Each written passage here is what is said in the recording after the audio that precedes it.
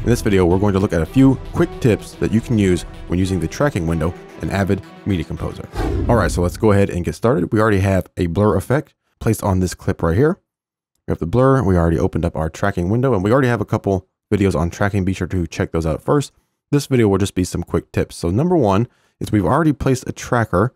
Believe it or not, you might not be able to see it, but we've placed a tracker on this video clip. But where is it? So that's our first tip you can kind of see it. It's yellow right here, and that's hard to see on this background. So the first tip is we can come over here in our tracking window and see this yellow color. We hover over it. We see this is the set tracker data color. Click this and you get a color palette. We can change this color to something that's much easier to see on this white background. So that is the first tip is you can change the color of each tracker. And this of course works with multiple trackers. So if I set up another tracker, this one's kind of a light green, again, hard to see. Let's change this to a black. That's much easier to see, much higher contrast, be much easier to place our tracker if we can actually see them. And again, multiple trackers. We can just keep creating trackers and keep changing the colors to whatever suits us best.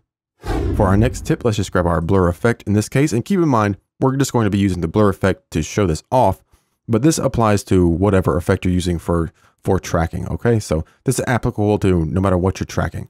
Go and open up the tracking window there's our tracker. And say we want to track this little guy's eye. Not a problem. We know how to track. We've watched those other videos. We know how to track. So go ahead and track it. Awesome. Okay, that tracking is done. Go and close that window. And I first I need to actually draw the blur around his face. We haven't done that yet. That's okay. We can do that afterwards. Got a nice blur there.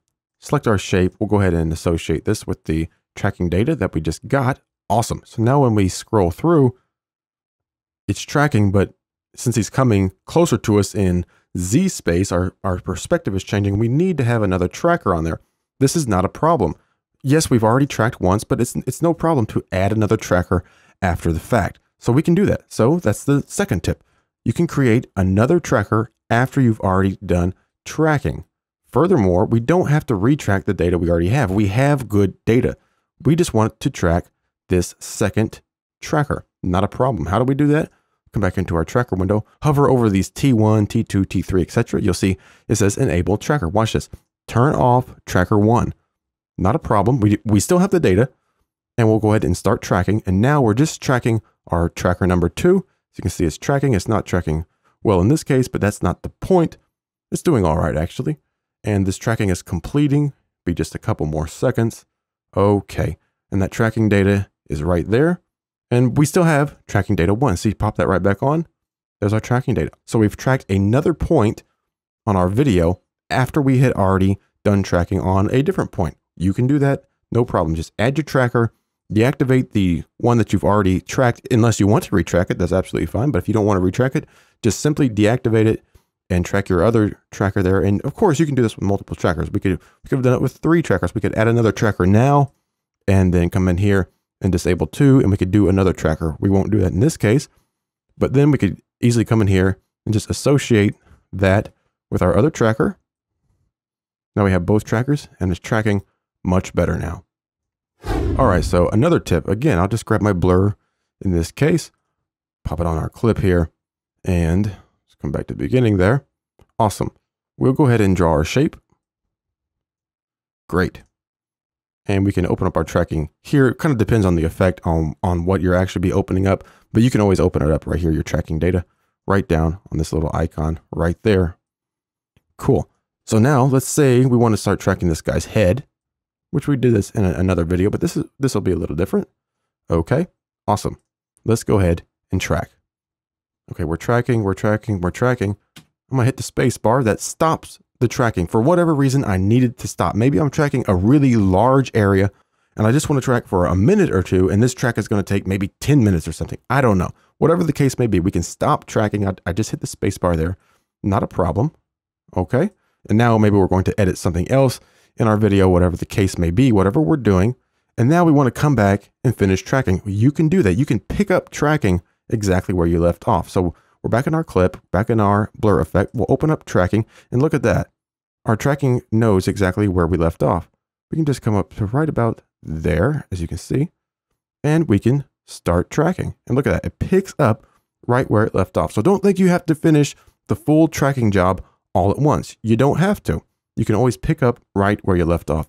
That's really great to be able to do that. Then go and associate it with our data. Of course, we need to select our shape first. Associate it. Boom. Now we have a great track. We tracked it in multiple sessions and it still tracks absolutely fine. And of course, we can do this with multiple trackers. So now what if we want to add another tracker on say his nose and then say another tracker down here, not a problem. And we can come in here and what we just learned in the last video, we'll deactivate tracker one and go ahead and start tracking. So now we'll just track these two trackers. We still have the data from tracker one. Now I want to hit stop. Not a problem. I can hit stop, go and activate tracker one just so we can see it. We can go ahead and associate this with our other points, even though they're, it's not complete data. We scroll through and of course we lose it right there because that's where our tracking data stops. that's pretty cool. See how it stops? Okay, so now we know I need to resume tracking. Again, not a problem. Pop right back in here. We can see from this black line on the top, this T1 track is fully tracked. We can see from these black lines and the red lines that we still need to continue tracking on our other trackers. Not a problem. Go ahead and disable our tracker number one. We'll hit start tracking at the position indicator. And now we're just tracking the rest of the way. Awesome. So now we have three fully tracked points and we did it in multiple sessions. Look at that. Now that tracking data is off because as we saw in the last video, tracking the nose is going to cause a problem. So we would of course come in here, select our shape and open up tracking and we just turn off these points because we only need one for this guy. All right, so those are a few tips in tracking and one last little tip that is really more about the effect editor than tracking, but I'll go ahead and mention it. Pop in here, I'll just use the blur and we'll just blur her face. Cool. And say we want to track her head movement. Open up our tracker and maybe we're having a hard time getting our tracker placed where we want it. Hold down control on Windows. You can see that turns our icon into a magnifying glass. Now look, if I click say here close to her eye, it zooms in close to her eye. If I just use the enlarge button here, it just zooms in right in the middle of the screen. Okay, so if I hold down control on Windows, command on Mac, and say click right on this thumbnail, it zooms in close to that thumbnail. So just keep that in mind that where you place your magnifying glass icon, it will zoom in to that area. Furthermore, if we're zoomed way in here, we can hold on Control and Alt on Windows or Command and Option on Mac, and you can see that turns our cursor into a hand. And now we can grab our image and scroll it around so we can find exactly what we want to place our tracker in the best area and really get it sized just right. Awesome. We can back back out and then go ahead and continue with our tracking. All right, so those were just a few quick tips I wanted to mention about working with the tracking window in Avid Media Composer.